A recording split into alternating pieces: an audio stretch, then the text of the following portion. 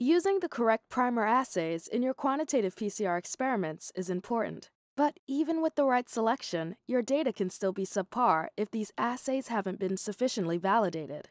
It can lead to poor results, questionable conclusions, and over time, countless hours wasted. You may as well toss your money in a pile and set it on fire. But using poorly validated assays doesn't just run the risk of corrupting your results, it may limit your chances of publication.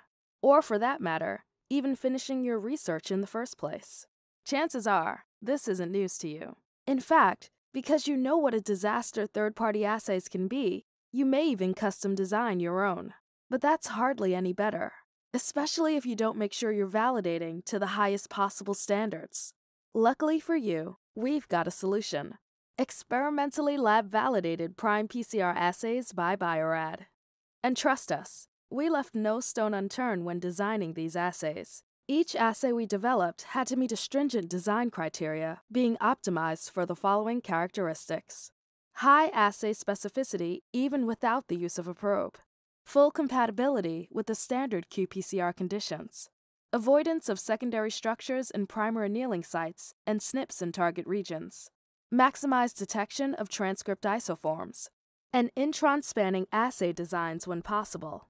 After designing the assays, we managed to rigorously wet lab validate almost 100,000 fully operational assays for the entire human, rat, and mouse genomes. That means we examined amplification efficiency and linear dynamic range and confirmed assay specificity by next generation sequencing for all of these assays. A lot of work, but totally worth it. We then use this powerful design algorithm to expertly craft assays for additional genomes that are also guaranteed to work. With Bio-Rad's PrimePCR assays, you can leave all the pain and hassle of customizing and validating assays in the dust, and finally stop stressing about mediocre results.